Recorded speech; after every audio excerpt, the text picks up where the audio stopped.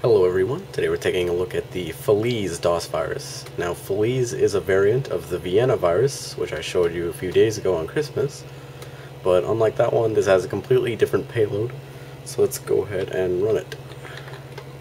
Now when you run it, you get this Norton editor in Spanish, and it is a Spanish virus, hence the name Feliz. So, we're not going to go ahead and mess around too much with this. It's just the basic Norton editor. It's an infected file that the virus would use to spread in.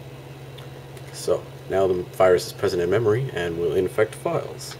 However, whenever an infected file is run on January 4th of any year,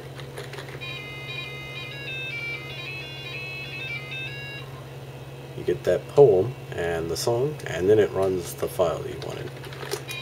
So if you run the command interpreter, same thing happens. And now that the command interpreter is infected, go ahead and restart. Wait for it to boot up here. Make sure there's no disks in the drive. Yeah, okay.